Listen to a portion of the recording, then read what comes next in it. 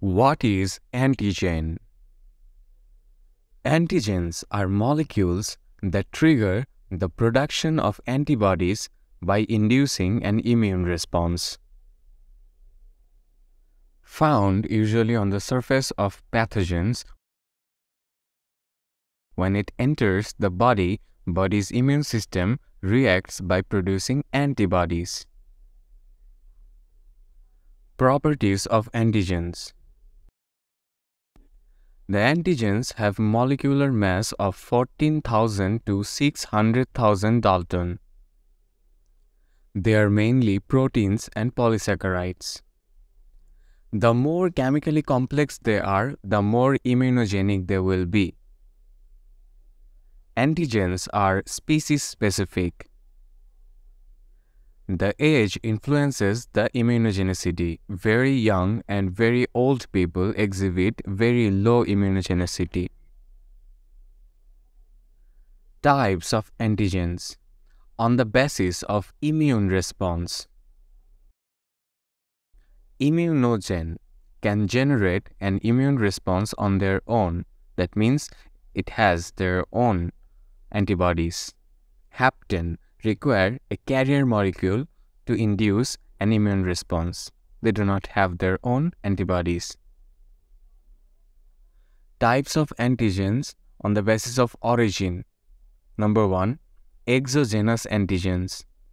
These are the external antigens that enter the body from outside through inhalation or injection.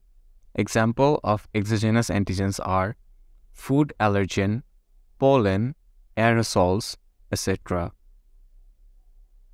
The number two, endogenous antigens. These are generated inside the body due to viral or bacterial infections or cellular metabolism. We know exo means external and endo means internal.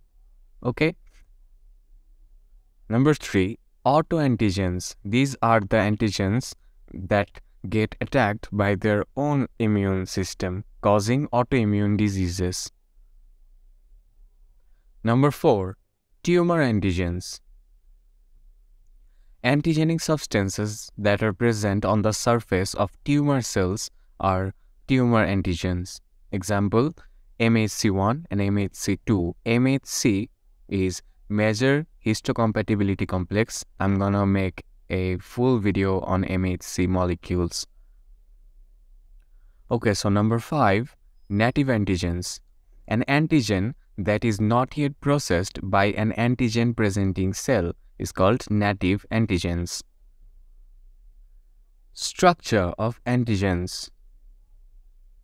The epitopes or antigenic determinants are the components of antigen.